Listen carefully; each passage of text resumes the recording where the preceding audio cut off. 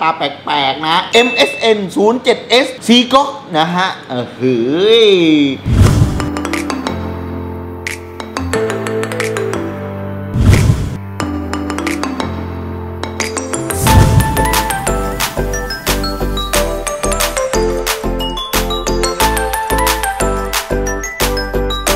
MG นะครับผม Master Grade ตัวนี้ หนึ่งต่อร้อยกันอีกแล้วนะครับ ตัวนี้เป็นของบันไดนะครับ ปี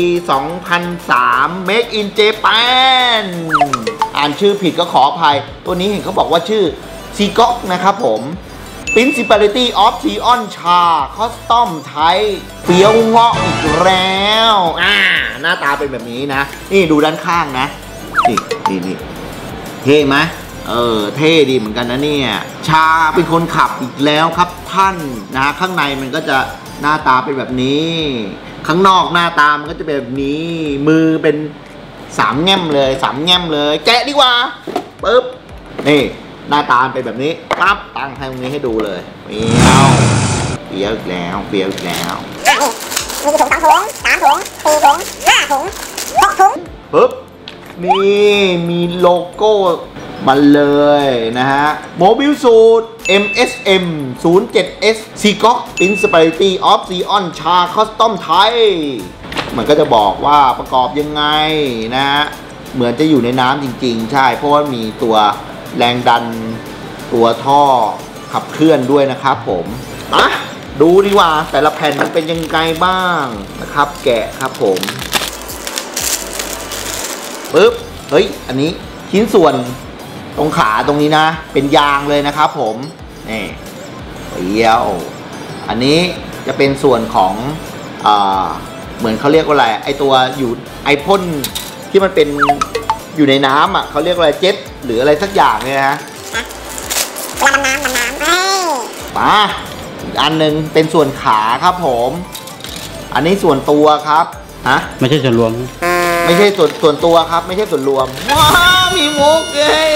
อ่า อันนี้ชุดเกาะครับผม แล้วก็มีสติกเกอร์นะฮะตัวนี้น่าจะต้องพ่นทับอีกแล้วนะฮะอันนี้ส่วนมือครับอันนี้ส่วนข้อต่อ อันนี้โครงสร้างครับผมส่วนตัวด้านในขาถุงสุดท้าย อันนี้น่าจะเป็นชุดตรงกลาง ชุดข้อต่อตรงกลางครับผมอะเรามาดูวีกี่แผงหนึ่งแผงสองแผงสามแผงสี่แผงห้าหกเจ็ดแปดเก้าสิบแผงครับผม โอ้โหยตัวนี้นะหนึ่งต่อร้อยเดี๋ยวลองประกอบกันดูดีกว่าตัวซีก๊อกตัวนี้นะ หน้าตามันจะเป็นยังไง วัสดุมันจะเป็นยังไงสีเสอนะเอ่อค่อนข้างจะดูดีเหมือนกันนะ นี่มันต่อสู้กันในน้ำเลยด้วยเฮ้ย เจ๋งจริงๆชายอีกแล้ว ไป ไปดูประกอบกันดีกว่าแล้วกลับมาดูเทคนิคเชี่ยลของมัน แล้วก็ให้คะแนนดาวของมันกับตัวซีกอฟตัวนี้นะครับผม โอเค ไปดูประกอบกันดีกว่าครับผมเสร็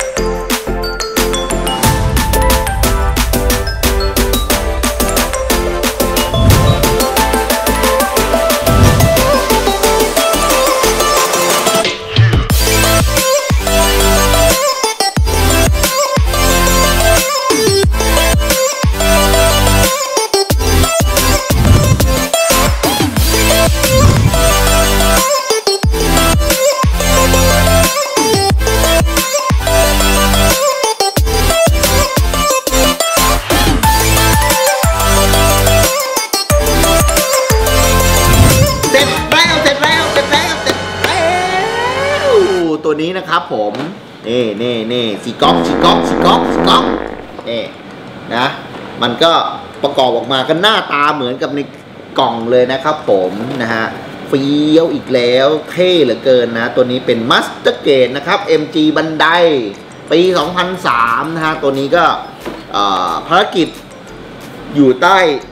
น้ำนะครับ หรือว่าใต้ทะเลเนี่ยสำหรับตัวติก๊อกคือเป็นเหมือนอีกตัวหนึ่งที่เห็นตัวนี้ก็จะรู้เลยว่ามันคืออ โมเดลที่เป็น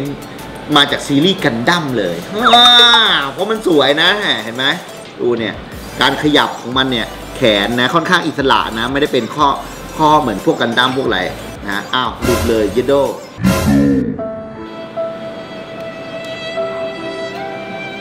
ไงเนี่ย แขนของมันก็เป็นอิสระนะครับ คือดิดงอได้เป็นอิสระคือไม่มีเป็นข้อต่อนะฮะ ก็สามารถที่จะทำได้นะฮะ หมุนได้เลยนะครับผมเจ๋งจริง ๆ นะ ทั้งแขนทั้งหมดเลย ก็คือแขนขาเนี่ยนะฮะตรงนี้ก็จะเป็นข้อต่อแต่คือตรงนี้มันบิดแบบนี้ได้นะฮะข้อต่อมันก็จะเป็นอย่างนี้นะฮะแล้วก็ข้อเท้ามันก็จะขยับได้ปุ๊บนี่ฮะหน้าหลังซ้ายขวาอย่างนี้ได้เลยเราก็สามารถที่จะจัดท่าได้หลากหลายนะครับผมเท่เหมือนกันตัวนี้มันก็จะเป็นข้อดีของมันเนี่ยผู้ขายเขาก็บอกว่า มันผู้ขายเขาก็บอกว่าเออมันเป็นตัวแบบรุ่นเก่าอะเพราะต่อตรงจอยตรงแบบพวกเอวพวกอะไรเงี้ยมันจะเป็นยางนะก็คือว่าเฮ้ยมันได้ฟีลลิ่งเท่ขึ้นมานะ หน้าตาของมันนะนี่นี่โอ้โหเฟี้ยวนะ ถ้าใครทำสีเนี่ยเริ่มต้นทำสี ผมว่าอันนี้น่าจะเป็นอะไรที่เหมาะ เพราะว่าอะไรรู้ไหมเพราะว่าตัวมันเนี่ยชิ้นเพจของ เนื้อพลาสติกอะมันค่อนข้างใหญ่แล้วก็ไม่มีอะไรซับซ้อนนะก็สามารถที่จะลองทำสีหรืออะไรดูได้นะ โอเค ไปดูเทคนิคเชื่อของมันดีกว่าว่าตัวซีก๊อกเนี่ยมันจะเป็นยังไงบ้างครับผม ตัวนี้นะครับชื่อของมันคือ Limited Production Commander Use Amphibious Mobile Suit โมเดลนัมเบอร์ของมัน MSN 0 7 X ชื่อ Official คือ Seacock Commander Type ความสูงของมันอยู่ที่ 18.4 เมตร น้ำหนัก 67.3 ตัน Full Weight นะครับ น้ำหนักเต็มพิกัดอยู่ที่ 95.2 ตัน พลังงานของมันคือ Ultra Compact Minovsky Fusion Lector กินกำลังไฟอยู่ที่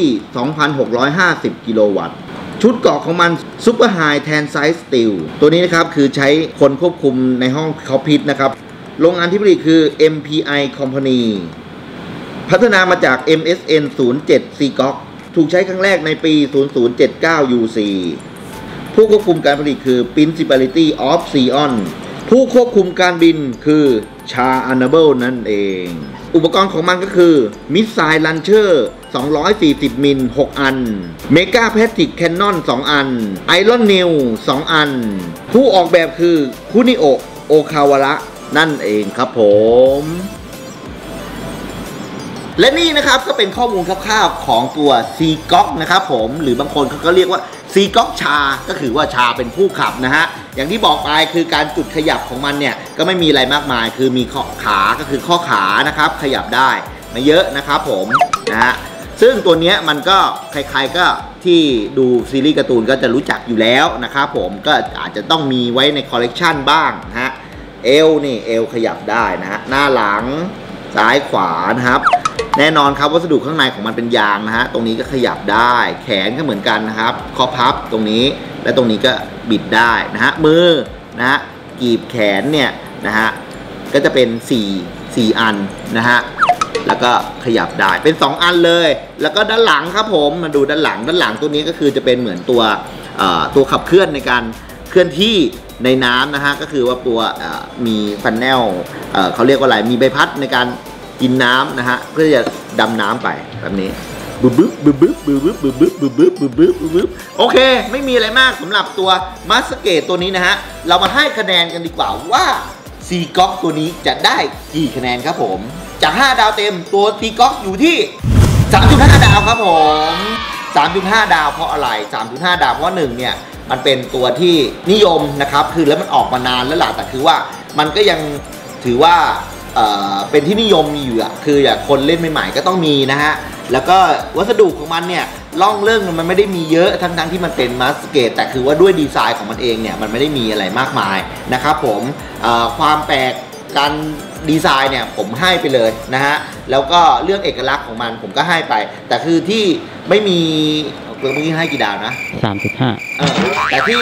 ม่ให้ไปก็ไม่มีอะไรมากครับผมเพราะว่าอุปกรณ์ของมันเนี่ยมันก็ไม่ได้มีนะฮะแล้วเปรียบเทียบกับราคาเนี่ยก็